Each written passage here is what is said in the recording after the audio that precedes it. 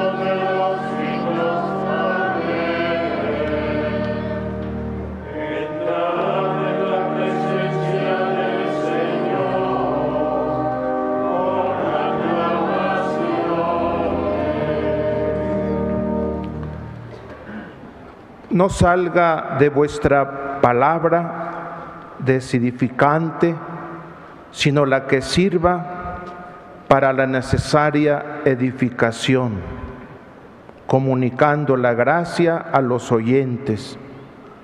Y no provoquéis más al Santo Espíritu de Dios, con el cual fuisteis marcados para el día de la redención.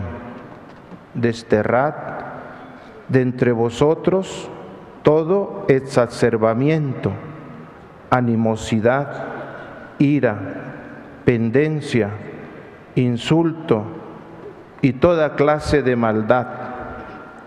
Sed, por el contrario, bondadosos y compasivos unos con otros, y perdonaos mutuamente, como también Dios os ha perdonado en Cristo.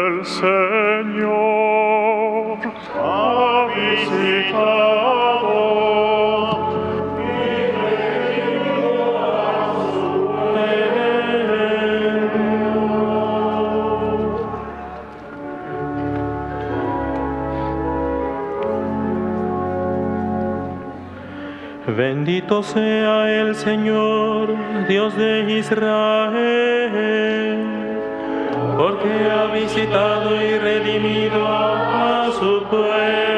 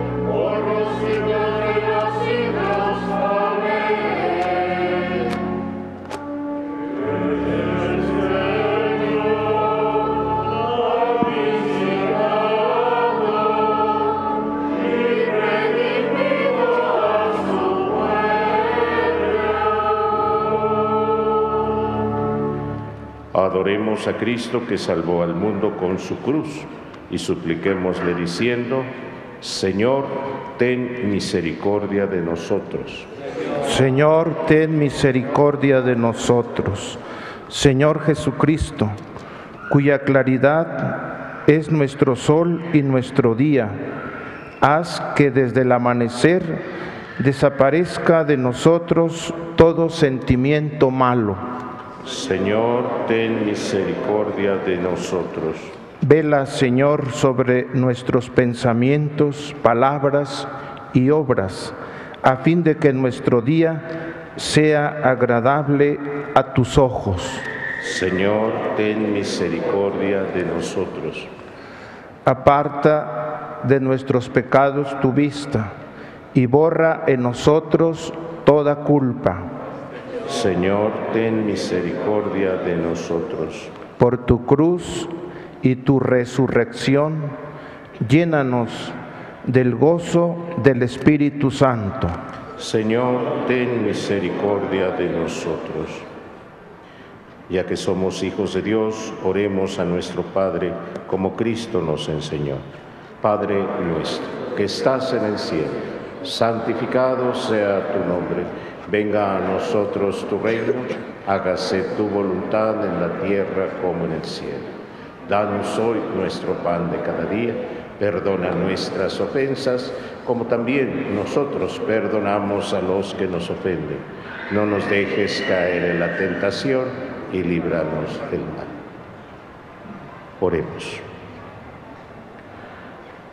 Dios Padre de Misericordia, que has puesto a este pueblo tuyo bajo la especial protección de la siempre Virgen María de Guadalupe, Madre de tu Hijo, concédenos por su intercesión profundizar en nuestra fe y buscar el progreso de nuestra patria por caminos de justicia y de paz por nuestro Señor Jesucristo, tu Hijo, que siendo Dios, vive y reina contigo en la unidad del Espíritu Santo por los siglos de los siglos. El Señor esté con ustedes. La bendición de Dios Todopoderoso, Padre, Hijo y Espíritu Santo, descienda sobre ustedes.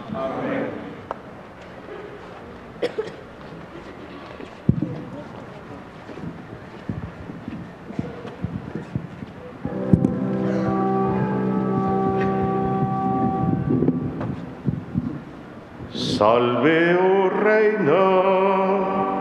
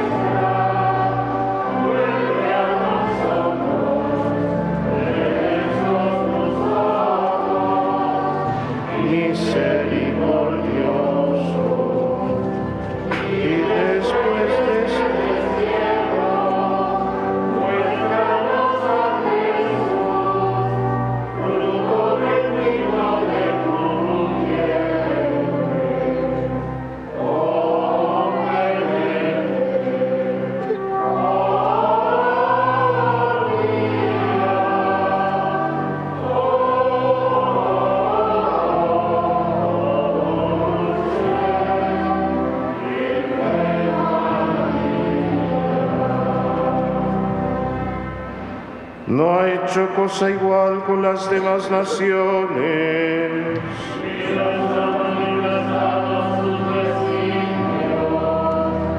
Oremos, Padre de misericordia que has puesto a estos pueblos tuyos bajo la especial protección de la siempre Virgen María de Guadalupe, Madre de tu Hijo, concédenos por su intercesión profundizar en nuestra fe y buscar el progreso de América por caminos de justicia y de paz. Por Jesucristo nuestro Señor. el auxilio divino permanezca siempre con nosotros.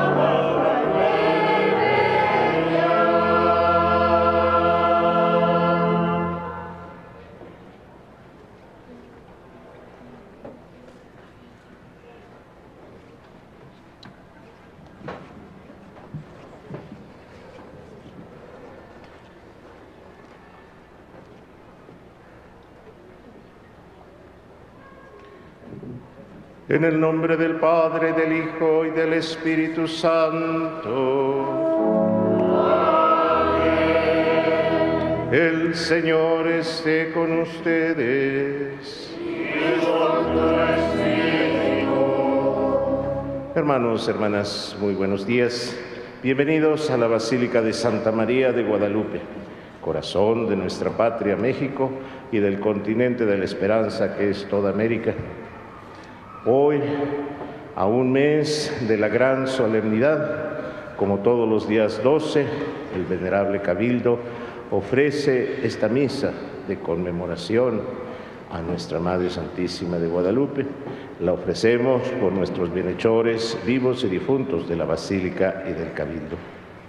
Asimismo, tenemos la dicha, la alegría de recibir a nuestros hermanos que han peregrinado de la parroquia de Santa María Tecuanulco, que nos acompañan en esta mañana, así como también varios miembros de la Archicofradía Universal de Guadalupe.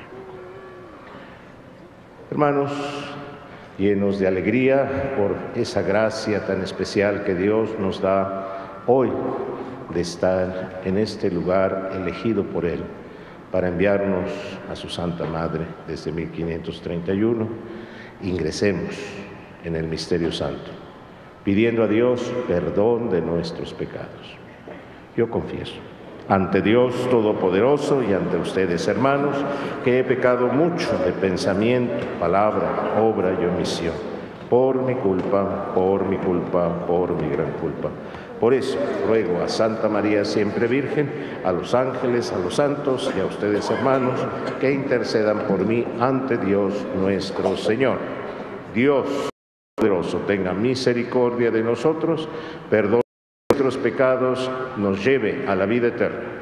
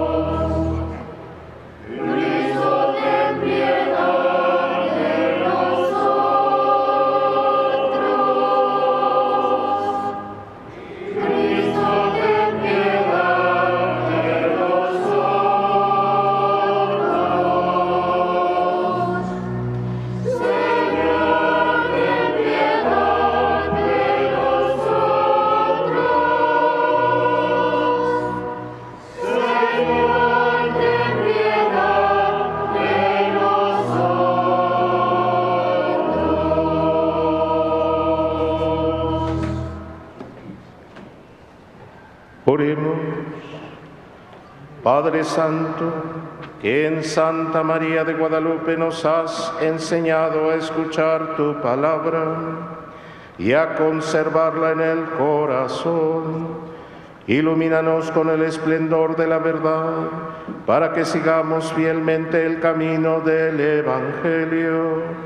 Por nuestro Señor Jesucristo, tu Hijo que siendo Dios vive y reina contigo en la unidad del Espíritu Santo, por los siglos de los siglos.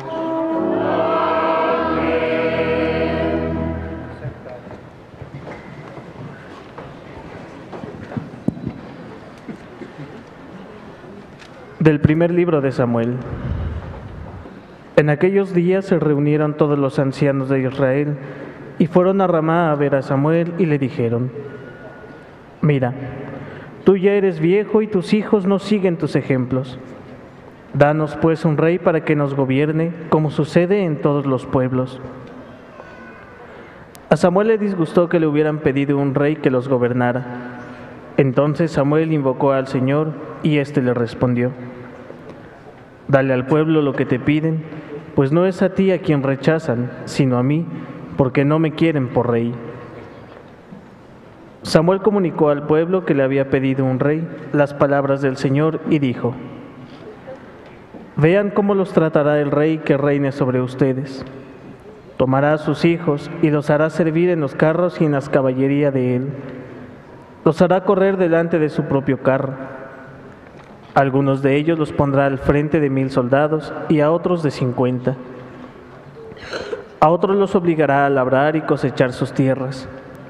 A otros los hará fabricar armas para la guerra y aparejos para sus carros.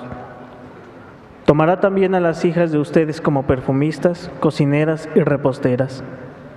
Les quitará a ustedes sus mejores campos, viñas y olivares y se los dará a sus ministros. Exigirá el diezmo de lo que produzcan los sembrados y viñas de ustedes y se los dará a sus ministros y a sus criados. Tomará a los criados y criadas de ustedes, sus mejores bueyes y asnos, y los empleará en trabajos de él. Les exigirá el diezmo de sus rebaños, y ustedes mismos se convertirán en sus esclavos. Aquel día clamarán al Señor contra el rey que ustedes mismos elijan, pero el Señor no les responderá. El pueblo, sin embargo, se negó, a escuchar las advertencias de Samuel y gritó, no importa, queremos tener un rey y ser también nosotros como las demás naciones. Nuestro rey nos gobernará y saldrá al frente de nosotros en nuestros combates. Samuel oyó las palabras del pueblo y se las repitió al Señor. Y el Señor le dijo, hazles caso y que los gobierne un rey. Palabra de Dios.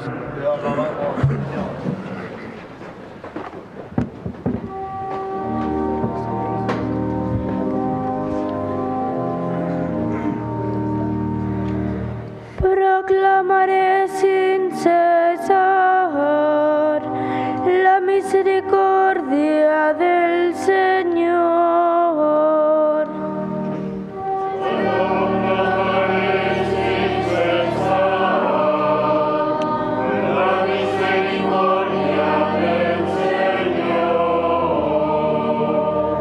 Señor, feliz el pueblo que te alaba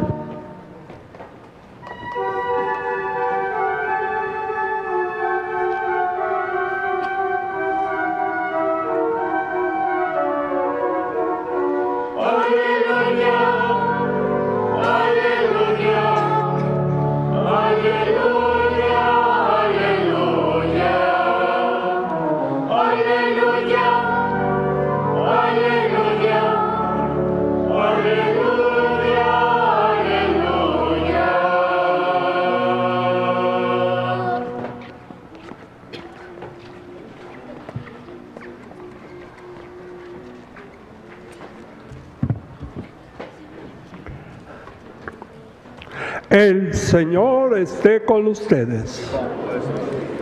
Del Santo Evangelio según San Marcos.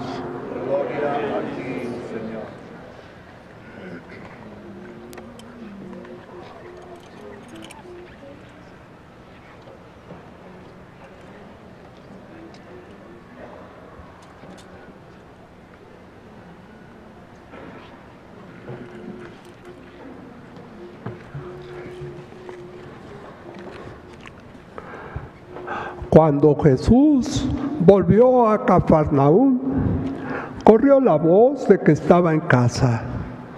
Y muy pronto se aglomeró tanta gente que ya no había sitio frente a la puerta. Mientras él enseñaba su doctrina, le quisieron presentar a un paralítico que iban cargando entre cuatro. Pero cuando, como no podían acercarse a Jesús, como por la cantidad de gente, quitaron parte del techo encima de donde estaba Jesús y por el agujero bajaron al enfermo en una camilla. Viendo Jesús la fe de aquellos hombres, le dijeron al paralítico, Hijo, tus pecados te quedan perdonados. Algunos escribas que estaban ahí sentados comenzaron a pensar, ¿por qué habla este así? Eso es una blasfemia. ¿Quién puede perdonar los pecados sino solo Dios? Conociendo Jesús lo que estaban pensando, les dijo, ¿por qué piensan así? ¿Qué es más fácil decirle al paralítico, tus pecados te son perdonados? O decirle, levántate, recoge tu camilla y vete a tu casa. Pues para que sepan que el hombre, el Hijo del Hombre, tiene poder en la tierra para perdonar los pecados, le dijo al paralítico, yo te lo mando, levántate recoge tu camilla y vete a tu casa. El hombre se levantó inmediatamente, recogió su camilla y salió de allí, a la vista de todos que se quedaron atónitos y daban gloria a Dios, diciendo, nunca habíamos visto cosa igual. Palabra del Señor.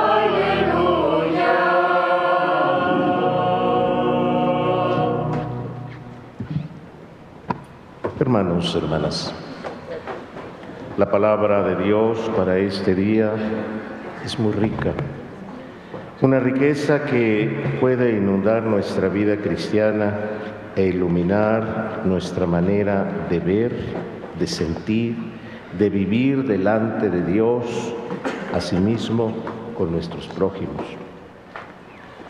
Detengámonos en algunos puntos de lo que hemos escuchado. En la primera lectura, tomada del libro de Samuel, encontramos un momento muy importante de la historia de la salvación, la institución de la monarquía de la antigua alianza. Ahí es un pueblo que pide un rey. Samuel se ve consternado. El profeta de Dios, el patriarca elegido por Dios, se desconcierta ya que comprende que el hombre no quiere abandonarse en Dios. Pareciera que la garantía de la fe no le es suficiente y quiere instituir una garantía personal semejante a los otros pueblos y a las otras naciones, estableciendo pactos, alianzas y realidades pero muy humanas. En el fondo de esta realidad existe una falta de fe del pueblo sobre las palabras pronunciadas por Dios con anterioridad. Pareciera que es la realidad que llega hasta nuestros días de nosotros que no somos capaces de abandonarnos hasta el fondo en Dios. Sin embargo, vemos la pedagogía del Creador que sale al encuentro de la debilidad y de la necesidad humana. Inmediatamente la respuesta de Dios es, dales un rey. Con desgano, Samuel se presenta y les expone todo lo que puede pasar cuando únicamente vemos las realidades humanas. Opresión, esclavitud, corrupción. Pareciera que nos plantean ahí una radiografía, una fotografía de muchos actuales gobiernos, partidos que ejercen el poder de esa manera. Y en el fondo nos preguntamos, ¿y en todo esto a dónde hemos dejado a Dios? Terminada la explicación, el pueblo responde, queremos lo nuestro. Nos amarramos en nuestra obsesión, nuestro capricho, y Dios les concede tengan un rey. Ante esta realidad se confronta el texto del Evangelio de hoy.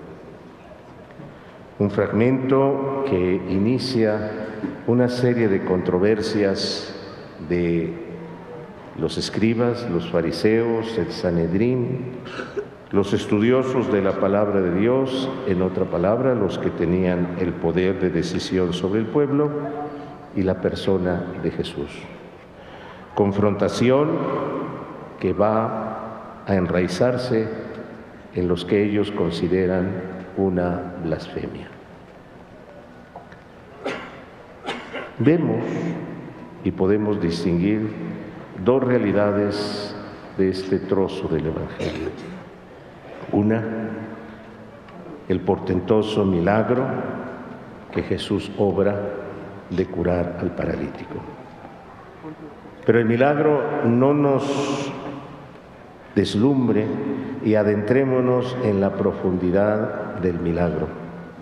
No es nada más esa parálisis física de ese hombre, sino que Jesús ingresa en las profundidades de esa persona para liberarlo de la parálisis más grande que podemos padecer, que es el pecado.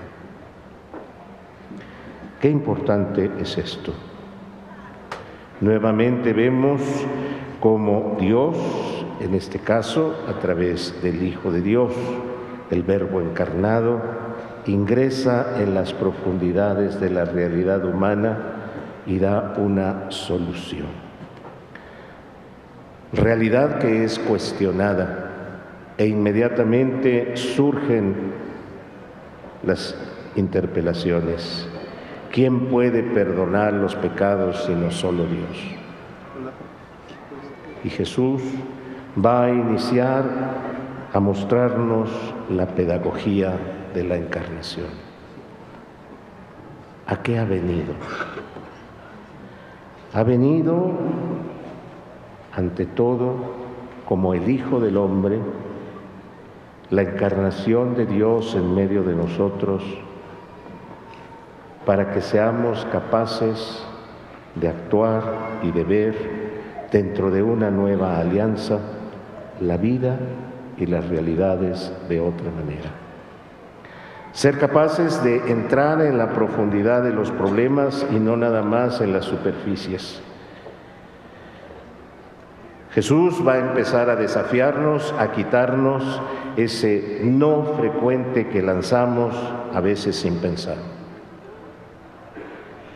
Y Jesús responde, Quieren ver que el Hijo del Hombre tiene poder.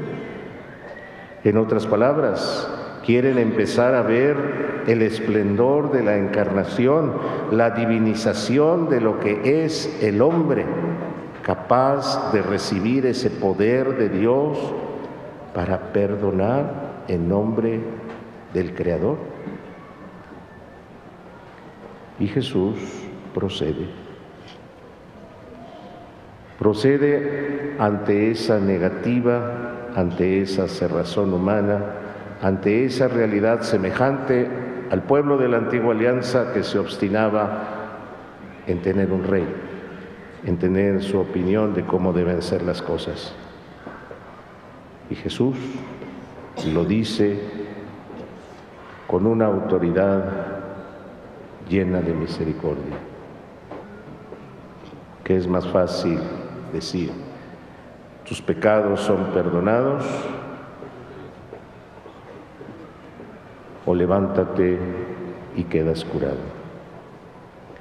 Jesús ingresa en la profundidad de los corazones de todos sus oyentes, desde los más descreídos hacia aquellos que lo interpelan y no van a aceptar que es el Hijo de Dios, el Dios encarnado en medio de nosotros. Y procede, levántate. Y ahí, hermanos, está la profundidad del milagro. Milagro que constantemente Jesús llega a nuestras vidas y nos manda, levántate. Levántate de esas realidades que a veces te tienen atormentadas, que pueden ser tus pecados, tus miedos, tus angustias, tu depresión, tus adicciones, tu corrupción. Levántate. Ante esta realidad quizás nosotros podríamos tomar los dos caminos de los oyentes de ese lugar. Dar gloria a Dios o cuestionar, eso no se puede, eso no se debe hacer.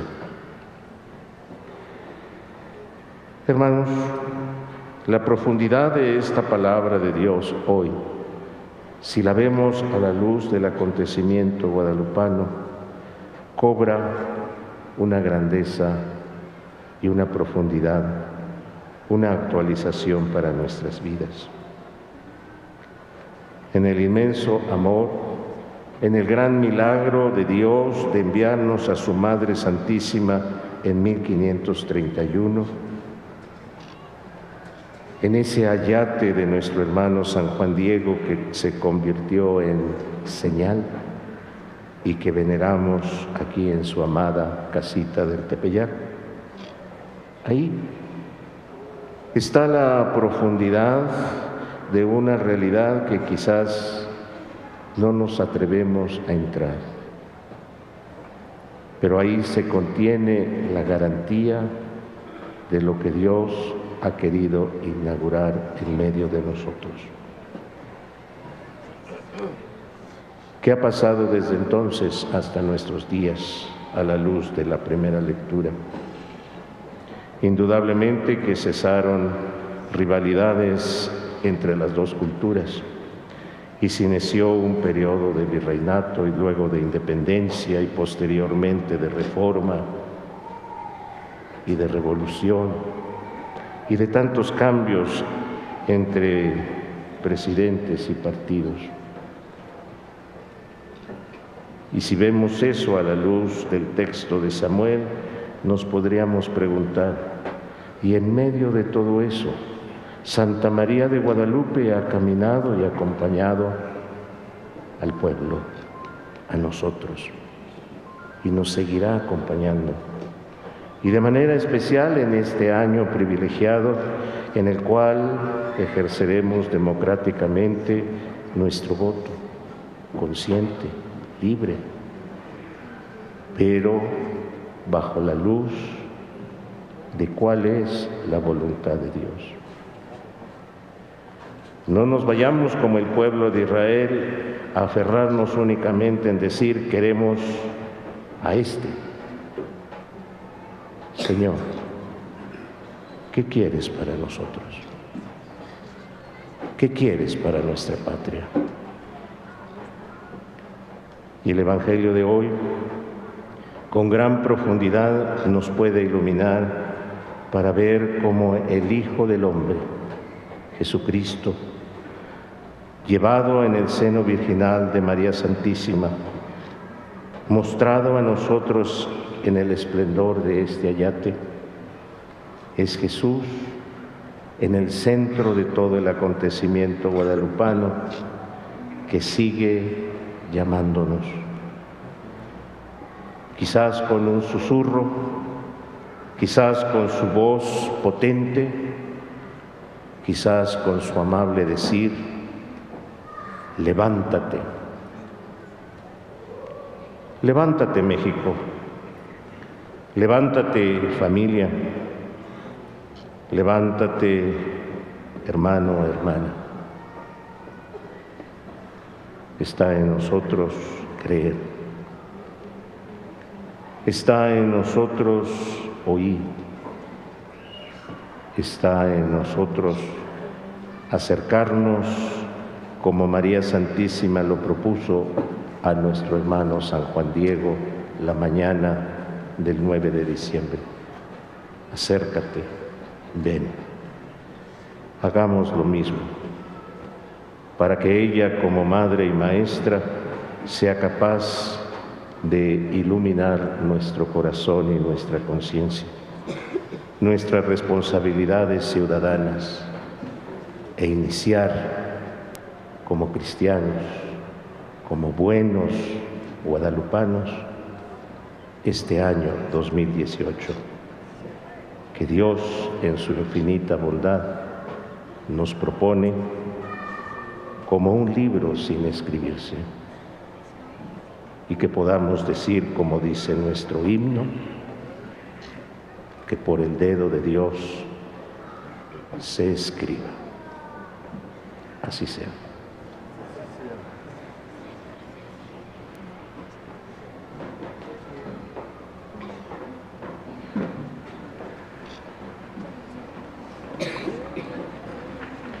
Oremos, hermanos y hermanas, confiadamente y pidamos a Dios por el bien de todos los hombres y mujeres. A cada petición diremos, Padre, escúchanos. Padre, escúchanos. Por las vocaciones en la iglesia, para que Dios las multiplique y fortalezca el propósito de los que se han consagrado a su servicio. Oremos.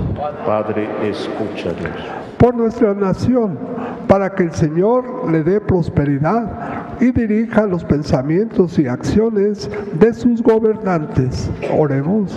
Padre, escúchanos. Por los novios, para que Dios les dé espíritu de reflexión y abra un camino en la vida de los jóvenes, aún indecisos de su vocación. Oremos. Padre, escúchanos. Por los esposos de nuestra parroquia, para que el Señor los conserve en la concordia y en el amor. Oremos. Padre, escúchanos. Para que en las acciones de este día busquemos más el bien de nuestros hermanos que nuestro propio provecho. Oremos. Padre, escúchanos. Por los peregrinos de la parroquia de Santa María de Coanulco, para que Dios les siga inspirando ese amor a la Santísima Virgen María. Oremos. Padre, escúchanos. Pedimos también por todos los miembros de la Archicofradía Universal de Guadalupe, roguemos al Señor. Señor, fuente de todo bien, escucha nuestras súplicas y concédenos con amor lo que te hemos pedido con fe por Jesucristo nuestro Señor. Este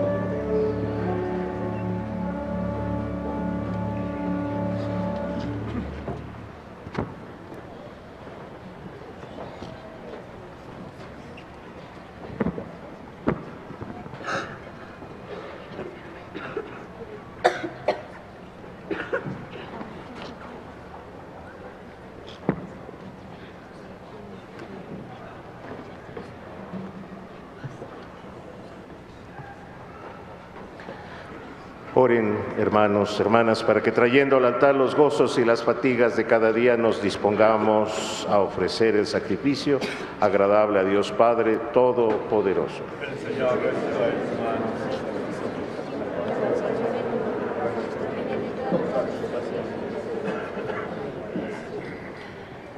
Padre bueno, al conmemorar a la gloriosa siempre Virgen María, convierte con tu poder en sacramento de salvación los dones que con gozo te presentamos por Jesucristo nuestro Señor.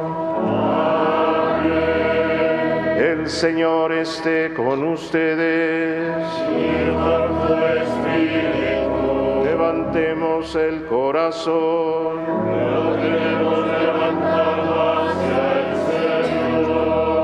Demos gracias al Señor nuestro Dios.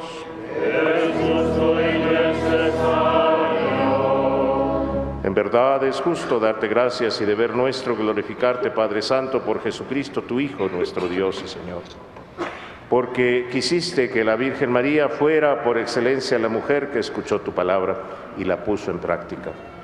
Al ponernos nosotros bajo la mirada protectora de Santa María de Guadalupe, aprendemos de ella, maestra de la palabra, que es posible con tu gracia vivir conforme al Evangelio que tu Hijo nos entregó y así recorrer con gozo el camino que conduce a tu morada eterna.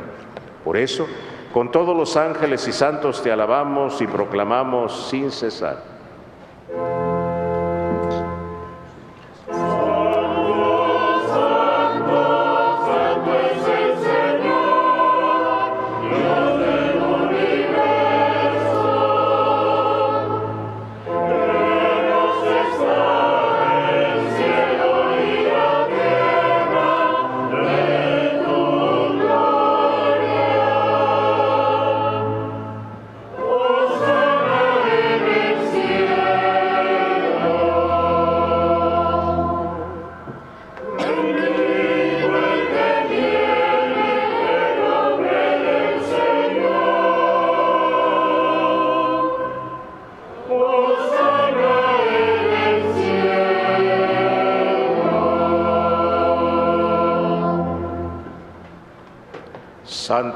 Eres en verdad, Señor, fuente de toda santidad.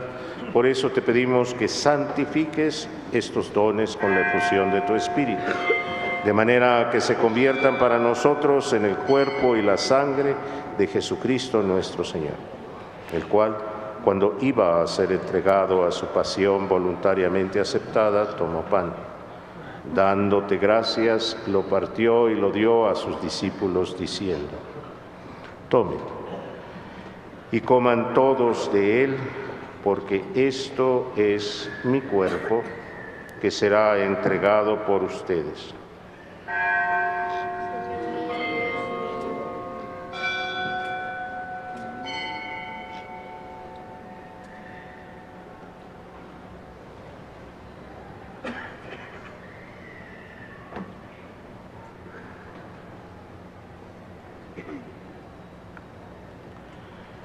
Del mismo modo, acabada la cena, tomó el cáliz y dándote gracias de nuevo, lo pasó a sus discípulos diciendo, tomen y beban todos de él porque este es el cáliz de mi sangre, sangre de la alianza nueva y eterna que será derramada por ustedes y por muchos para el perdón de los pecados.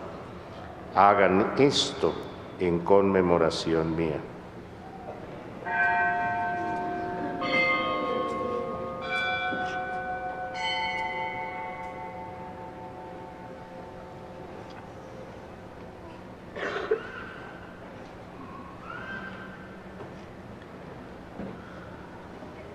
Hermanos, hermanas, este es el sacramento de nuestra fe.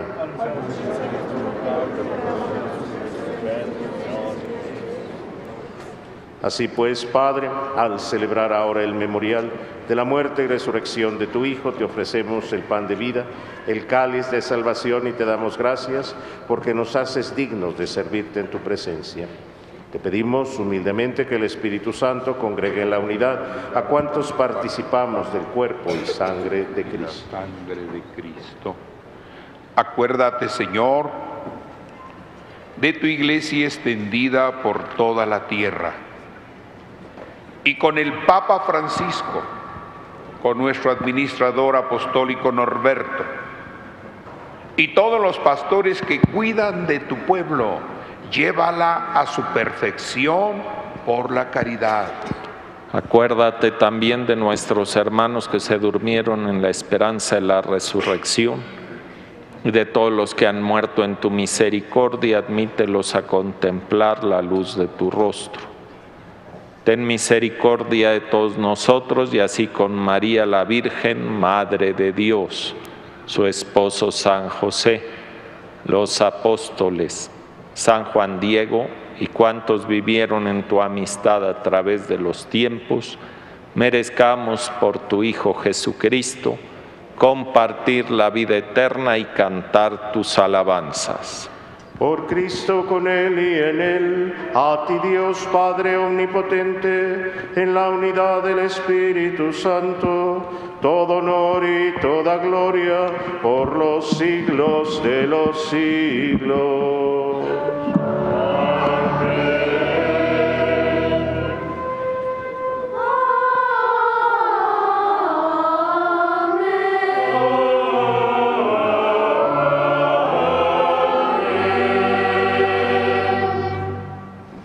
Hermanos, hermanas fieles a la recomendación del Salvador y siguiendo su divina enseñanza, nos atrevemos a decir, Padre nuestro que estás en el cielo, santificado sea tu nombre, venga a nosotros tu reino, hágase tu voluntad en la tierra como en el cielo.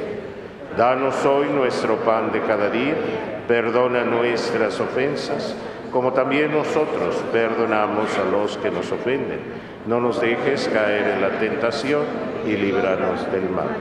Líbranos de todos los males, Señor, concédenos paz en nuestros días para que, ayudados por tu misericordia, vivamos siempre libres de pecado, protegidos de toda perturbación, mientras esperamos la gloriosa venida de nuestro Salvador Jesucristo.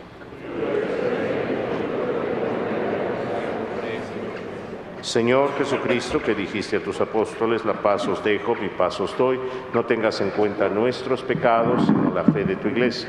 Conforme a tu palabra, concédele paz y unidad, tú que vives y reinas por los siglos de los siglos. Amén. La paz del Señor esté con todos ustedes.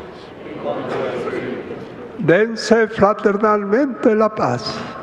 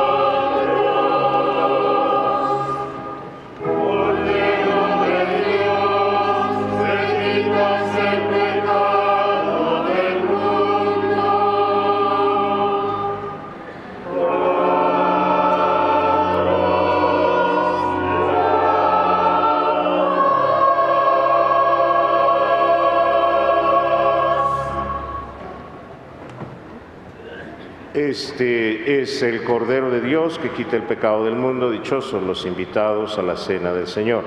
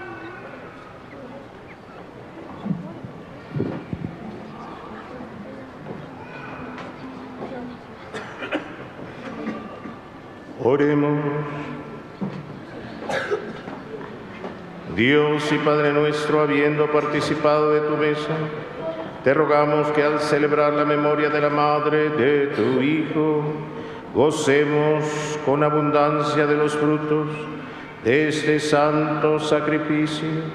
Por Jesucristo nuestro Señor.